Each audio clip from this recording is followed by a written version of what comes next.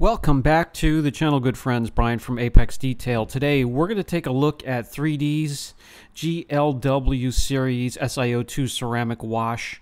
Now, if you're a follower regular to the channel, you know I'm not the biggest fan of these. Uh, the foam sucks, the lubrication normally sucks. Sometimes even the cleaning power um, is subpar.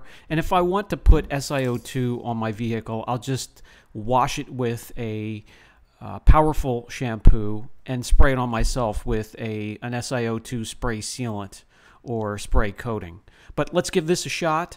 16 ounces for 19.99. I believe it's also available in gallon size. We'll see if this is any different and uh, stands out or stands above the rest of those SiO2 ceramic washes. We have a Tesla that is uh, well overdue for a maintenance wash. This is ceramic coating.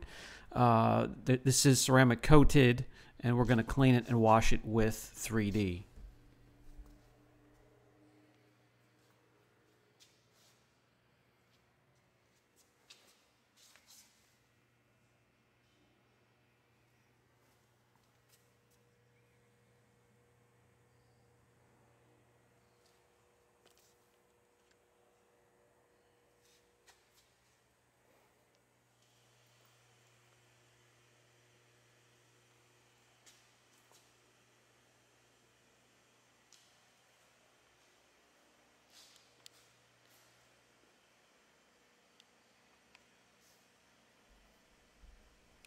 We're going to go with 60 mils or 2 ounces in the foam lance. And then that's also going to be the exact same for the wash bucket as well, especially if you have a, you have a 3 or a 5 gallon bucket. I have the MJJC version 3 here. I've been quite disappointed with not the performance, but the durability. It is breaking down. The canister's breaking down. Every once in a while, I have a problem with the, the nozzle. Uh, the canister or the, the container here, uh, any warm or hot water will deform it. It's just way too thin, way too cheesy, disappointing. Uh, I go back to the version 2, which is still going strong and very happy with it.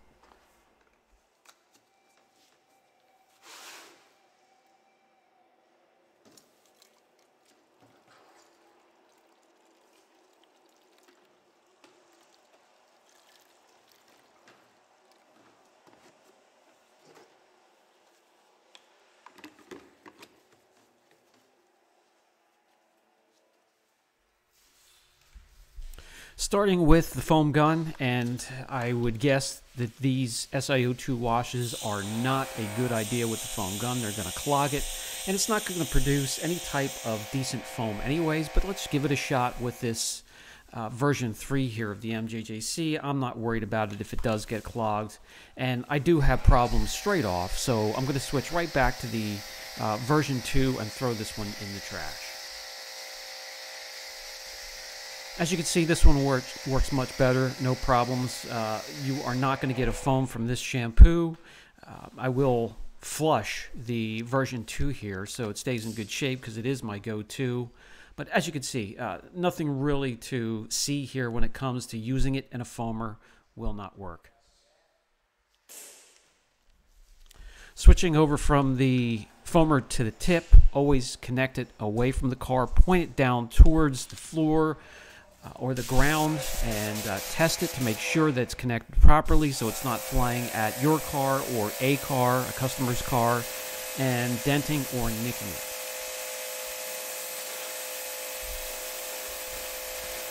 Rinse is off easy enough, but again, this would be a bad idea. I mean, this has SiO2 apparently in it. You don't want to put that over top of dirt, so do your bucket wash and maybe hit it with the foamer after it's clean and let it dwell and let some of the SiO2 shower and uh, relax down over the paint and maybe bond.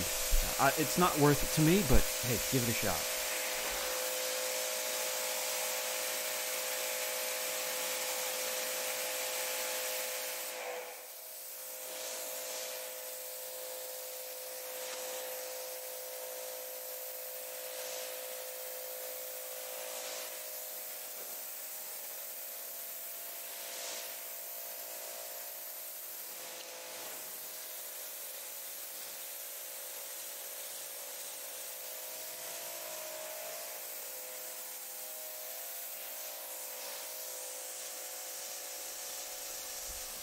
Let's pay attention to this area down here. However, this is where traffic film is clogging or masking the characteristics of the coating.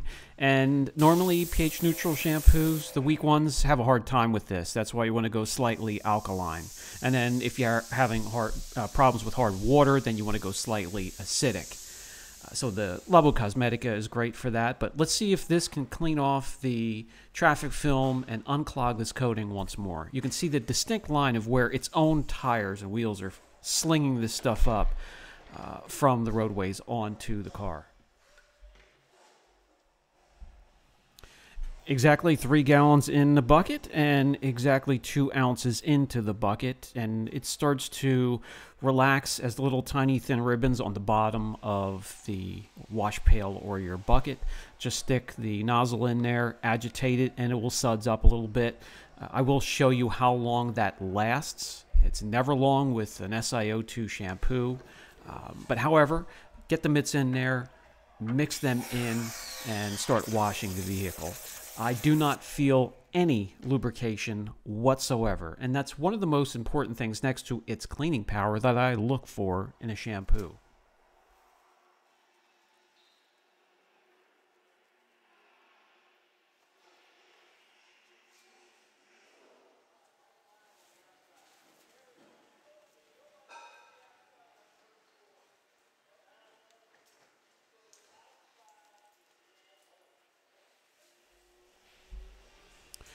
No two bucket grit guard uh, mumbo jumbo here. Uh, multiple mitts.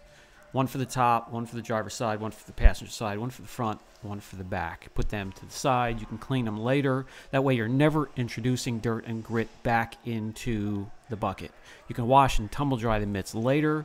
Low heat. It delints them as well. Nice and fluffy and soft for the next wash process. When we run the mitt from the front of the car to the back of the car, as I like to do, to see how the lubrication is. There is none whatsoever. It just sucks flat onto the surface.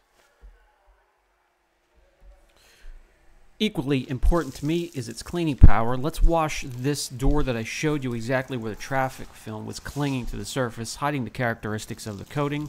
Let's wash it down, rinse it thoroughly, and come back and take a look.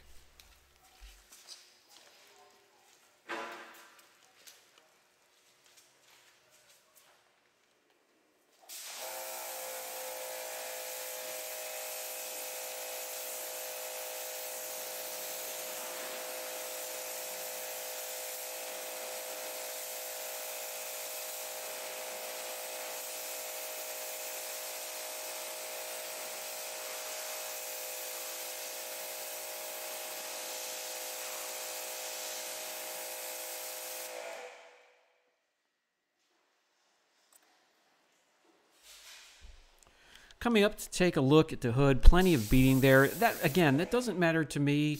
Whatever does settle on the surface meaning SiO2 it's going to be uh, kind of equal to a spray and rinse product. It's not going to last very long so I'd rather just wash it regularly and spray it with an SiO2 sealant and uh, get it done the right way. But let's get to the passenger side here and the one impressive thing to me is that it was able to clean the traffic film off the side of the vehicle. So take the SI2 away from this and uh, add a, bit of lubrication, and I would be a regular user. So those are the strengths. Well, the strength one, it has cleaning power. And it does make the vehicle nice and squeaky clean. Everything else, uh, I'll pass.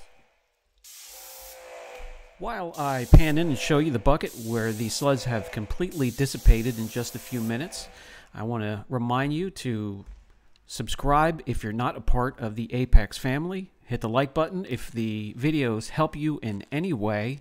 And hit the notification bell that'll let you know when we have new content available for you. Catch you in the next video, guys.